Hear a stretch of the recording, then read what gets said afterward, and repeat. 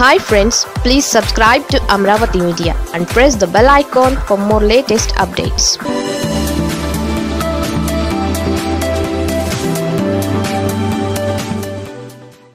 ఏపీలో విగ్రహాల ధ్వంసం చేసిందెవరో తేలిపోయింది. నిఘా వర్గాల ప్రాథమిక నివేదిక ఇదే. ఆలయాల్లో అకృత్యాలకు పాల్పడి అలజడులు రేపేందుకు తెలుగుదేశం పార్టీ పక్కా పథకం ప్రకారమే కుట్ర చేసిందని నిఘా వర్గాలు ప్రాథమిక నివేదికలో తేల్చాయి. ఈ మేరకు ప్రభుత్వానికి నివేదిక అందించినట్టు సమాచారం. రాష్ట్రంలో వరుసగా జరిగిన దేవాలయాల్లోని విగ్రహాల ధ్వంసం ఘటనలను నిగ్గు తేల్చేందుకు రంగంలోకి దిగిన నిఘా వర్గాలు ప్రాథమికంగా కొన్ని ఆధారాలు సేకరించినట్లు విశ్వసనీయంగా తెలిసింది.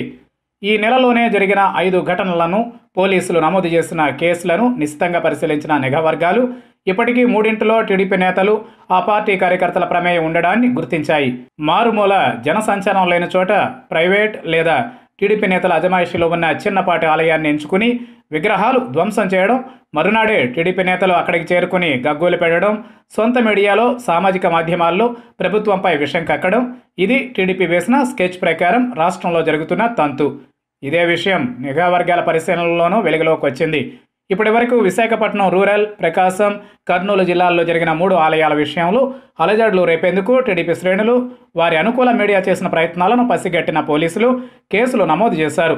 ఈ వివరాలను నిఘా వర్గాలు తమ నివేదికలో పొందుపరిచాయి. గత ఏడాది డిసెంబర్ ఇరవై ఎనిమిదిన జరిగిన రామతీర్థం శ్రీరాముడి విగ్రహ ధ్వంసంలోనూ టీడీపీ నేతల హస్తంపై పోలీసులు అనుమానం వ్యక్తం చేస్తున్నారు.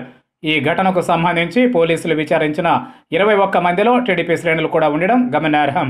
కర్నూలు జిల్లా కొసిగి మండలం సజ్జలగూడెంలో ఆంజనేయ స్వామి ఆలయ టవర్పై సీతారాముని విగ్రహం కాళ్ళను ధ్వంసం చేసి హుండీని దొంగిలించిన ఘటనపై ఈ నెల రెండున పోలీసులు కేసు నమోదు చేశారు. సజ్జలగూడెం గ్రామ టీడీపీ అధ్యక్షుడు కురుబా విశ్వనాథరెడ్డి ఈ ఆలయానికి చైర్మన్గా ఉన్నారు.